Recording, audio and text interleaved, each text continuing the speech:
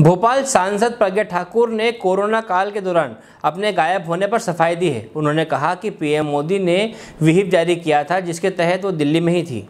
उसके अलावा जब वो भोपाल आना चाहती थी, तब फ़्लाइट बंद कर दी और आने के साधन बंद थे, जिसके कारण वो भोपाल नहीं आ पाई।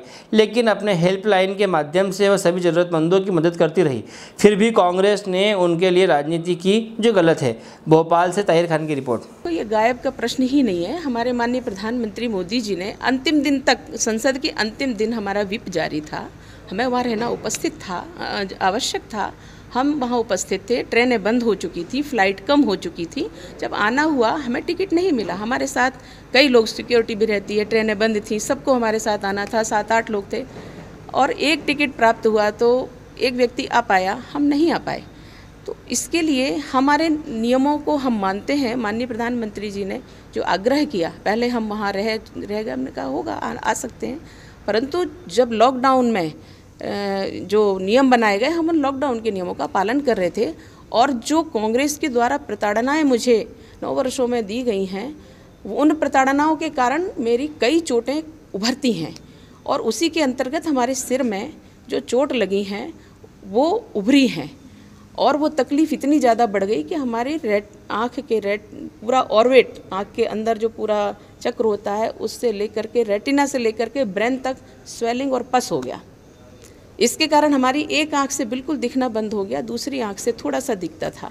अभी भी हमारी इस आँख से धुंधला दिखता है, राइट साइड से और लेफ़्ट से तो बिल्कुल अभी नहीं दिखता।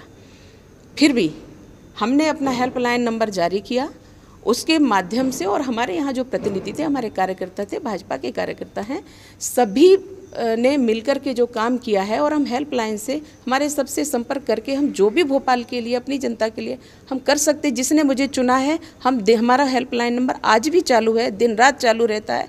हम उनकी समस्याओं को सुन करके हर प्रकार से और उसका समाधान करते हैं। आपने देखा भी होगा, थोड़ा हम अपने में संकोच करते थे कि सन्यासी हूँ, अन्नदान, भोजनदान, भंडारे, भोजन कराना, किसी को इसका प्रचार प्रसार नहीं करते थे।